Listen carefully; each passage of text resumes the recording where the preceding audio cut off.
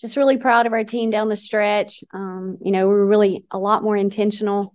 Um, I think we were talking a little bit at halftime about, you know, their effort and energy was at a different level than ours. And anytime you can come back out and only have three turnovers in the second half, we'd only shot two free throws. We got to the line 25 times, and then we had three offensive boards, and we had eight more um, for 11. I out rebound them. We were getting out rebounded at half. So all the statistical categories just show how intentional and I just thought we took our effort and energy to another level. So uh, really, really proud of our team in the way they won tonight.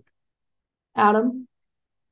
Um, so obviously, Coach Curry, you guys pulled out a very, very gritty win. What does that win feel like as you're uh as you hit your 500th win? Obviously, like how does that win? How does that second half make you make you feel like your team like played better because obviously like the whole story has been that you guys couldn't finish but you guys came out and looked like a completely different team. So how does that make you feel to be your for that type of win to be your 500th win?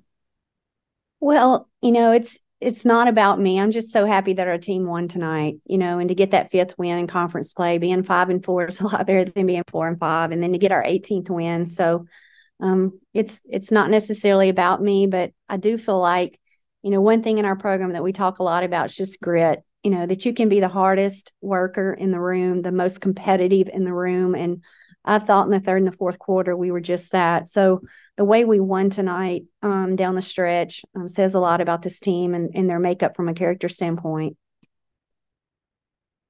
Ariel.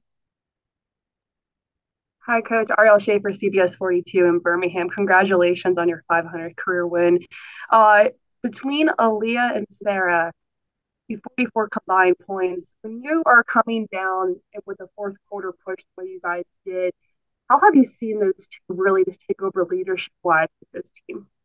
Well, they just, I mean, they just had a will about him down the stretch, you know, and we kept trying to find Aaliyah in transition. Um, I, I just can't say enough. They're really double trouble um, in a good way, you know, and they're such a great tandem and they play off each other. But you know, I know you didn't mention Loyal, but I thought Loyal had one of her best games of the year. Just everything that she did tonight. I know the 15 points, but she just did so many things and situations that may go unrecognized. And um, I thought the three of them, they're our leadership committee. We meet and eat and hang out once a week and talk about how we can make our program better. It really has nothing to do with basketball. So we have tremendous leadership in that locker room. And um, Aaliyah and SA, I mean, they were unbelievable tonight. It's something I'll never forget. You know, SA looked at me in one huddle late and winked at me, and I said, "This isn't funny." You know, she's just got some swagger and just one of the greatest competitors or competitors I've ever coached. Just you know, it's going to be okay, and and they just made it okay tonight. Courtney. Hi, Coach. Uh, this marks three games in a row now that you guys have won. So, just what has it been like for the team to kind of not to kind of claw their way back into SEC play and really prove themselves through these past three games? Well, I think you have to credit the staff, you have to credit the team, you have to credit the support staff. I mean, you know, right now, this time of year in February, um, your will has to be stronger than your skill. I think SA mentioned it earlier. It's not about talent, it's about the size of your heart um, and it's just a tremendous will around the program. You know, our expectation isn't just to get in the tournament. I mean, we expect to make the NCAA tournament. We understand that every one of these count, and our backs were against the wall. And as we go into February, we know that's where we really make March special. So our sense of urgency, you know, that was the word at halftime was we had to have more of an urgency, and we've got to continue to have an urgency. We'll enjoy this till midnight. We'll hit the reset button and try to get the next one. Ariel. Um, Coach, going along with that, what you said about this grind towards the second half of SEC play, what are you expecting maybe your leaders in the locker room, especially some of the younger ones too, who are experiencing their first back half of SEC play? What are you expecting them to tell them in the locker room? You know, I don't know that I understood the question. It was kind of shaky on this end. I feel so bad. Can I couldn't hardly hear, but I think you were talking about leadership in the locker room. Uh, yes, coach. With this back half of the season, with some of the younger players what are you expecting your leaders to communicate with them who've been through this journey and as you guys go into not only the SEC championship, but you guys are on that bubble too with making the NCAA tournament?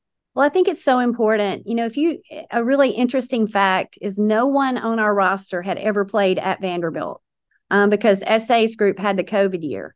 So this environment's a little different too, as far as the communication.